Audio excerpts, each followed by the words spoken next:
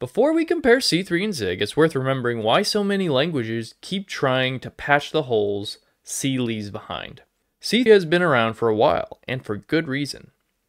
It's incredibly performant and gives you a lot of control over the small details, and lets you build up powerful systems with an amazing amount of flexibility. However, that flexibility comes at a price. Anyone who has worked on medium or large scale projects in C knows the difficult parts.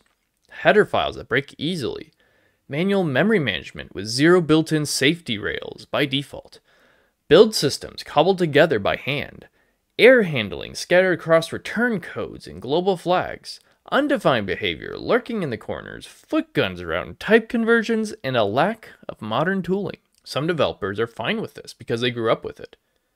In fact, some may even say it's a feature. For these devs, the issues with C are a skill issue. It's the developer's responsibility, not the language, to patch any issues and use discipline.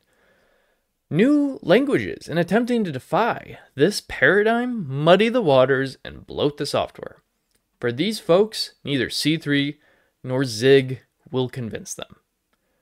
But then there is the rest of you. Subscribe and watch the full video at the link below.